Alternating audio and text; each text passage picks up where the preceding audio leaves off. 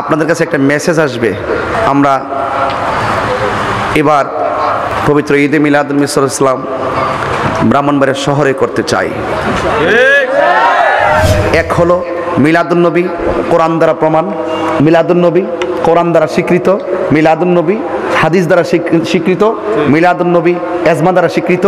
মিলাদুন্নবী কেয়াস দ্বারা স্বীকৃত। মিলাদুন্নবী সাল্লাহ সাল্লাম শেষ পর্যন্ত রাষ্ট্রীয়ভাবে স্বীকৃত। আপনাদের কাছে একটা মেসেজ আসবে। এই মেসেজটা আপনারা সবাই বুকে ধারণ করে। আমরা যেই জন্য নাসিরনগরে আসব, সেটা সেদিন বলব। আপনারা সবাই খুব গুরুত্ব দিবেন।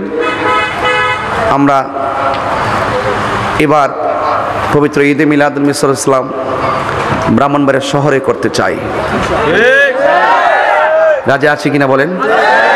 ইনশাল্লাহ বলুন। আল্লাহ এটা আপনারা খুশি হবেন।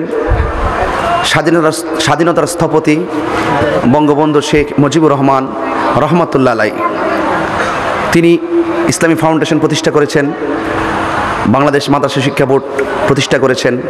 তারই সুযোগ্য কন্যা জননেত্রী শেখ হাসিনা, তিনি সারা বাংলাদেশে পাঁচশো ষাটটি মডেল মাদ্রাসা প্রতিষ্ঠা করেছেন।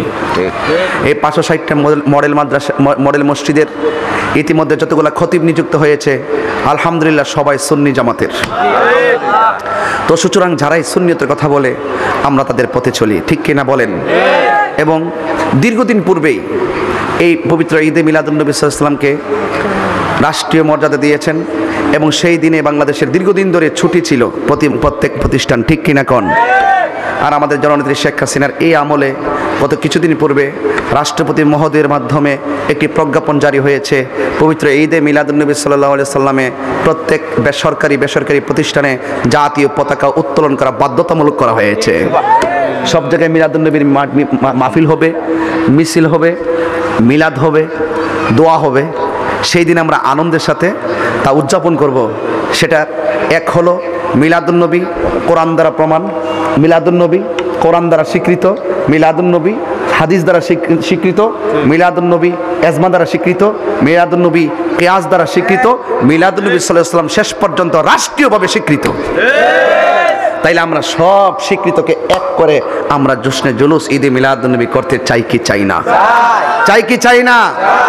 এই জন্য আপনারা আমাদের কর্মসূচিগুলো আমরা হাতে নিয়েছি। ফেসবুকে হয়তো দেখেছেন, সব কথা বলা যাবে না। ইনশাল্লাহ যদি, কখনো যদি আপনাদের কাছে ডাক আসে, আমি আশা করব আপনারা সবাই সেখানে যাবেন। যাবেন না বাবা? আল্লাহ যেন কবুল করে সকলে বলেন, আমিন। আমি কি কইতাম এখন? আমার অনেক কথাই বলছিলাম, অনেক কথাই বলার ছিল। তারপর আমি মূল কথাগুলো বলার চেষ্টা করছি মন থেকে। এখানে পাঞ্জাতনের নামের, পাঞ্জাতনের একটি কিছু নগদ কালেকশন পাঞ্জাতন ঘরের জন্য, অর্থাৎ যেখানে বসে পাঞ্জাতনের সম্মান, বয়ার আলোচনা এবং তাদের প্রতিকৃতি এবং আহলে বাইতের সম্মানের পর্যালোচনা করা হবে, সে একটা খানকা সিস্টেম আর কি, নাকি? এটি ঘর দরকার না?